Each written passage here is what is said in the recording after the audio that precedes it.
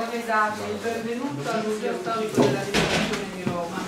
Forse vi sarete accorti che questo non è un edificio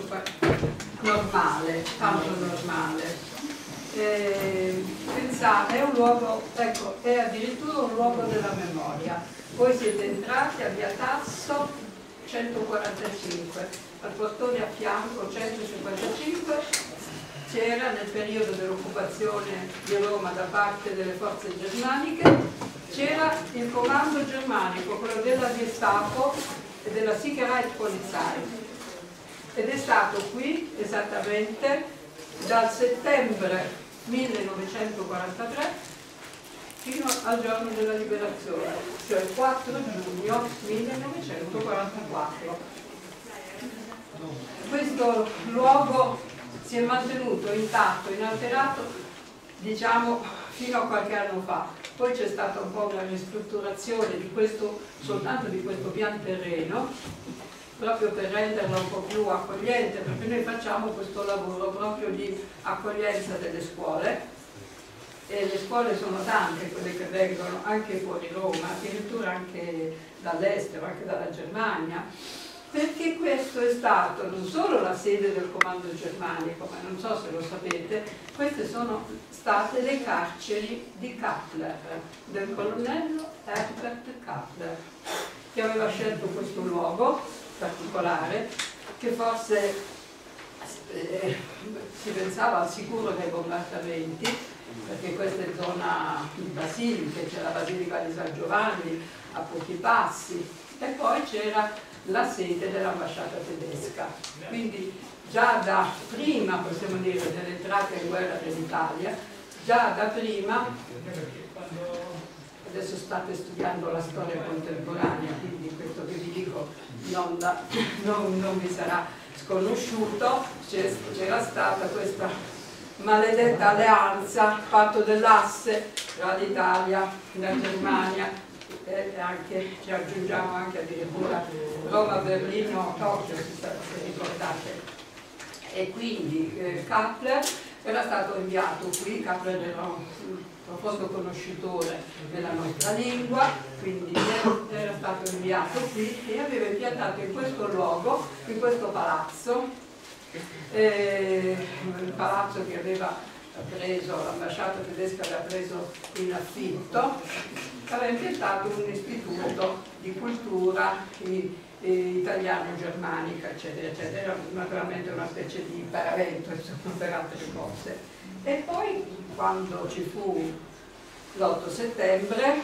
l'8 settembre voi sapete che è il momento in cui l'Italia si sgancia dalla vergognosa alleanza con la Germania nazista e però naturalmente questo i tedeschi ce lo fecero pagare perché pensate ragazzi che addirittura la sera stessa dell'8 settembre cominciarono ad entrare nella,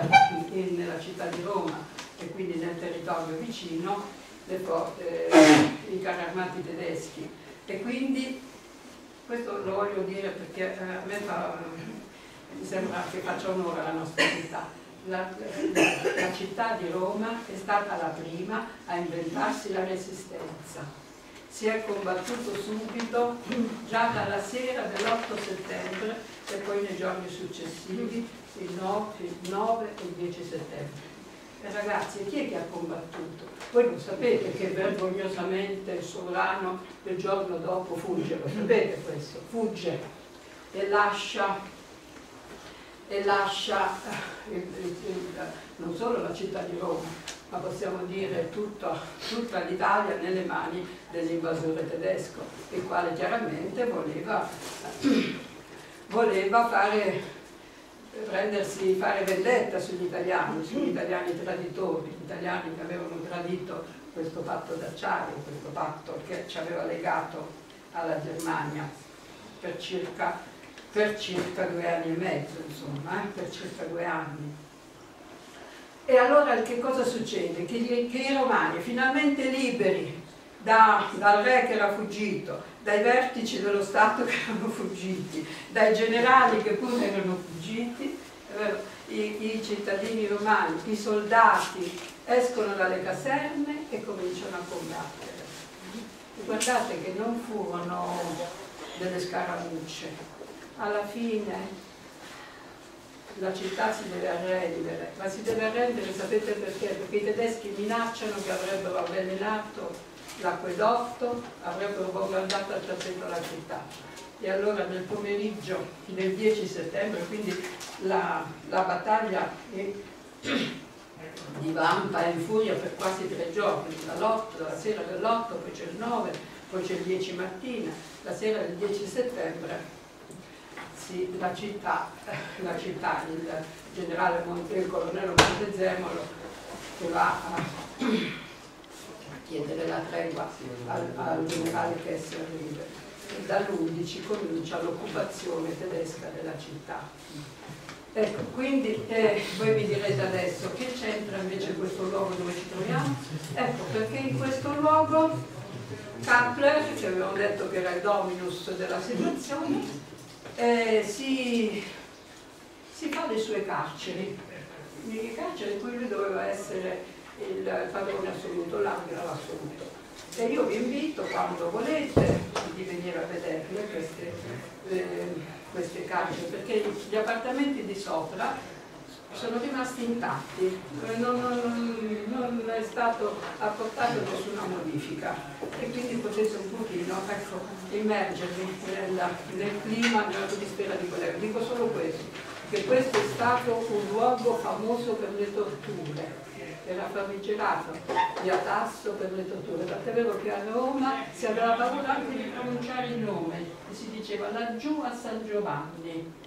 e quelli che hanno abitato qui hanno lasciato poi delle testimonianze per, che, agghiaccianti di quello che sentivano naturalmente perché queste persone torturate poi soprattutto la notte. Perché pensate di qual era e dico solo questo e mi, e mi taccio che cosa escogitavano i tedeschi per coprire le grida dei torturati. Qui c'erano autoparlanti che tutta la giornata musica leggera alla tona, in modo da coprire. La cosa straordinaria è che tanti sono passati di qua e, e, e lo hanno fatto a volte senza neanche, noi non sappiamo neanche il nome, perché poi alla fine voi sapete che chi entrava nella resistenza doveva anche cambiare nome, perché se no sarebbe stato riconosciuto noi siamo riusciti a rintracciare soltanto 2000 nomi attraverso schede che poi si sono ricostruite alla fine, 2000 nomi, ma saranno anche morti di più e molti sono anche morti sotto le torture o sono stati fucilati forte bravetta. E questo per dimostrare che la città di Roma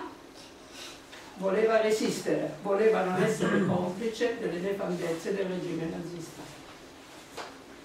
Io Gracias.